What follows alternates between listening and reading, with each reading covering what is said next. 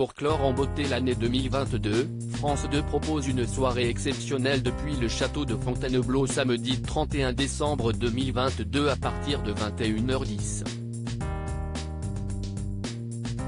Une soirée de réveillon populaire et festive animée par Stéphane Bern qui reçoit une pléiade d'artistes.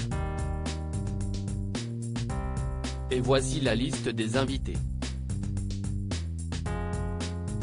Dès 21h10 ce samedi 31 décembre 2022 débute la soirée de réveillon du Nouvel An de France 2, la grande soirée du 31 à Fontainebleau. Haut lieu de l'histoire de France, et joyau du patrimoine français, classé au patrimoine mondial de l'UNESCO, le château de Fontainebleau a été l'une des demeures emblématiques des souverains français, de François Ier à Napoléon III. Il s'ouvre pour cette soirée à une multitude d'artistes dont Jennifer, qui vient de raconter son pire Noël, Patrick Bruel, qui pourrait devenir professeur à la Star Academy, Salvatore Adamo, véritable star au Japon, ou Kenji Girac, qui se confiait récemment sur sa fille. L'ensemble est animé par Stéphane Bern, grand habitué de ce genre de soirée événementielle et qui a posté un magnifique message pour les fêtes un lieu unique. Et si est au cœur de trois lieux époustouflants du château, la salle de bal, la galerie François Ier, le grand escalier de la cour d'honneur, que Stéphane Bern invite les téléspectateurs à faire la fête, chanter et danser sur des rythmes disco. Un endroit étonnant, sublimé pour cette soirée avec des chanteurs, des artistes aux multiples talents et des danseurs de la troupe du Paradis Latin, sous la direction artistique de Kamel Wally.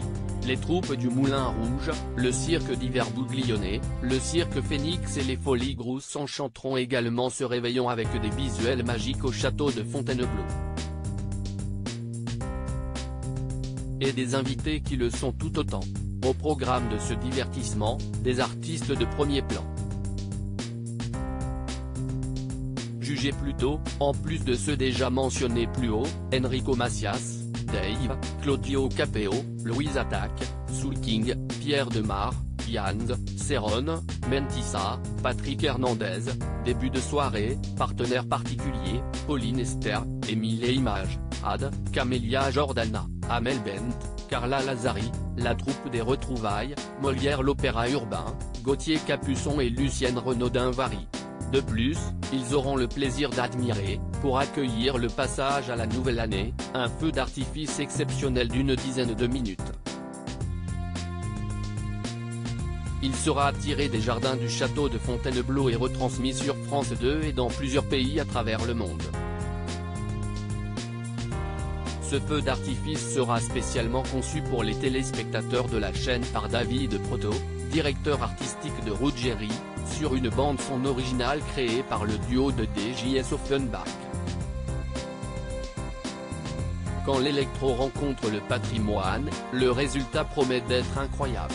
À lire aussi On n'a pas gagné la Coupe du Monde, mais Stéphane Bern et son amoureux Yori Bayres partagent un magnifique message vidéo pour les fêtes.